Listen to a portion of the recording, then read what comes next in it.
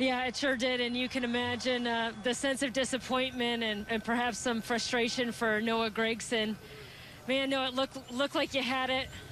You just couldn't quite hold on. What was going on with the car, and what's going through your mind at this point? I was thankful for uh, for Johnny Morris and Rusty Sellers, everybody at Bass Pro Shops, and True Timber. Um, I don't know. I, I felt like we had a fast car there, just a little tight on exit all day, and just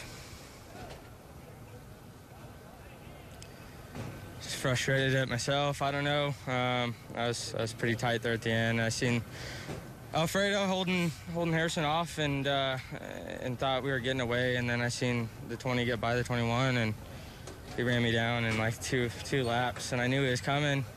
Um, I just didn't expect him to get there. Um,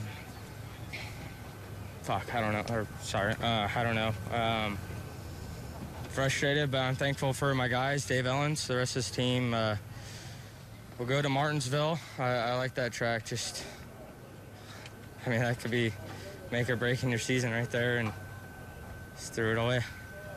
You know, we apologize for that language, but we appreciate uh, Noah giving us his his raw thoughts.